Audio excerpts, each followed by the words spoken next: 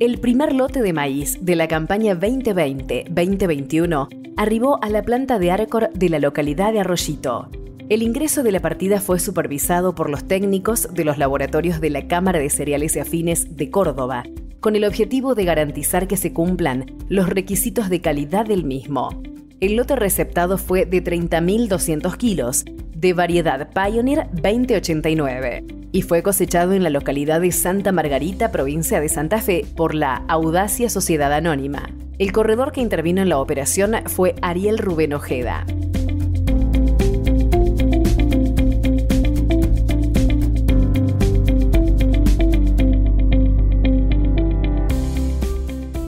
Bueno, la verdad fue un verdadero placer porque, bueno, esta es nuestra tercera edición. Hace cuatro años que venimos haciendo los remates o que venimos haciendo el lanzamiento de la temporada de maíz. El año pasado no se pudo hacer el remate por la situación de COVID que nos sorprendió y que nos obligó a suspender esta tarea, pero con mucha felicidad este año hemos retomado, hemos hecho un reconocimiento a quien entregar el primer lote el año, al productor que entregó el primer lote el año anterior, que no se pudo rematar.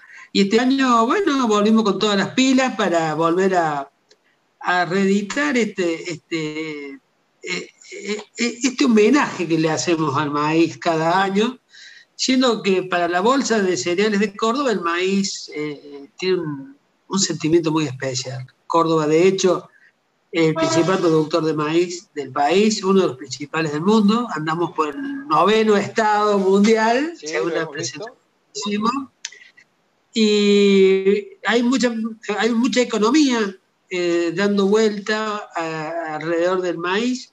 Habría mucho más si nos pudiéramos poner las pilas y si dieran las condiciones.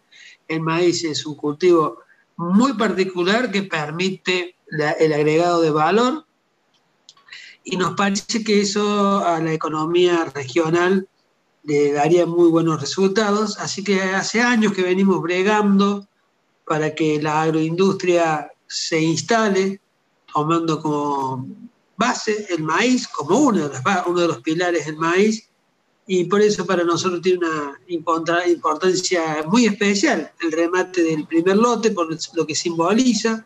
¿De dónde provenía este primer lote este, y a, a qué planta arribó? Sí, eh, del norte de Santa Fe eh, arribó a la planta de Arcor y eh, finalmente el adjudicatario fue Arcor también, que compró el lote en 34.500 pesos. Bien. La verdad, una buena cifra. Ojalá podamos seguir vendiendo ese precio. Estamos viendo. Pero Arcor se negó a pagar de nuevo por ese lote.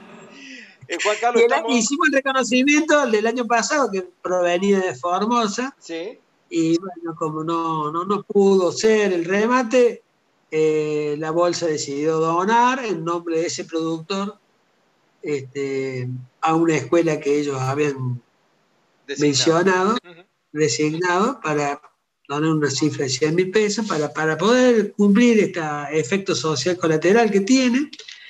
Y la verdad que es frustrante porque eh, ser eh, el primer lote de, de un producto, ya en este caso maíz, es mucho más que ser la primer, el, lote que primero se cosecha. El productor se tiene que inscribir, tiene que elegir un material adecuado que, pueda sembrarlo en época como para poderlo cosechar, hacer el seguimiento, eh, este, llevar eh, administrada la calidad, porque tiene que calificar en cuanto a calidad, entregarlo en un destino que habitualmente no es el que, el que entregaría. Es decir, hay una gran cantidad de aspectos y de esfuerzos que valoramos, que el productor hace, toda la cadena, pero el productor fundamentalmente, es, un orgullo para mí, para el grupo que conformamos la conducción de la bolsa, es, es, placentero, creemos que estuvo a la altura de las circunstancias, así que lo disfrutamos y nos preparamos para el próximo.